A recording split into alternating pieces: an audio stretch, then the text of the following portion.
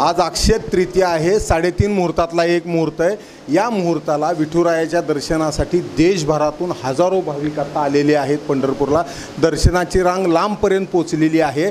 आजचं वैशिष्ट्य म्हणजे आजपासून विठुरायाला नैवेद्यामध्ये व- आंब्याचा रसाचा समावेश होतो आणि या पंचपक्वांनामध्ये आज आंब्याचा रस आजपासून विठुरायाला सुरुवात होणार आहे.